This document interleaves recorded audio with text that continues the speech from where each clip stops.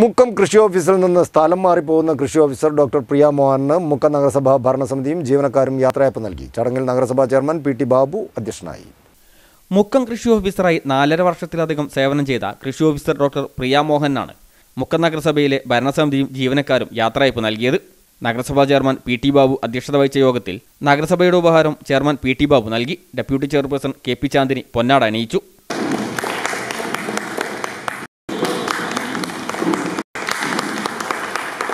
Standing committee ചെയർമാൻമാരായ E Sathyanarayanan Abdul Majeed K K Rubeena നഗരസഭാ കൗൺസിലർമാരായ Abdul Gafoor Gafoor Kalluritti Venugopalan master Madhu master Noufal Mallassery revenue inspector Suresh Babu എന്നിവർ സംസാരിച്ചു. News bureau Mukkam.